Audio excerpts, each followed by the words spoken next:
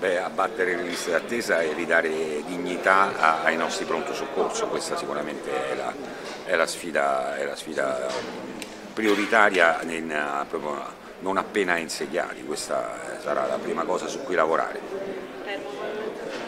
termovalorizzatore è un'opera in mano al commissario, è un'opera importante per chiudere il ciclo di rifiuti, questo è, è, anche, è anche bene sottolinearlo, la chiusura, ma bisognerà lavorare tanto perché parta l'economia circolare e quindi anche la raccolta differenziata che è ancora troppo troppo bassa. Si può realizzare? Eh, questo bisogna chiederlo al commissario, non lo so io, è, è una, non sono io il commissario, se il commissario pensa che eh, non, ci, non, non ci sia impatto sulla viabilità con il parere contrario della sovrintendenza sull'allargamento dell'Ardiatina,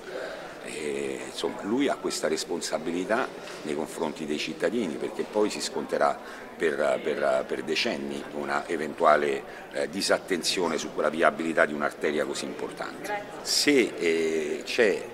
eh, il tema della spesa storica ovviamente mi preoccupa perché potrebbe creare cittadini di serie A e, e, e di serie B. Se invece si tratta di avvicinare l'amministrazione ai cittadini,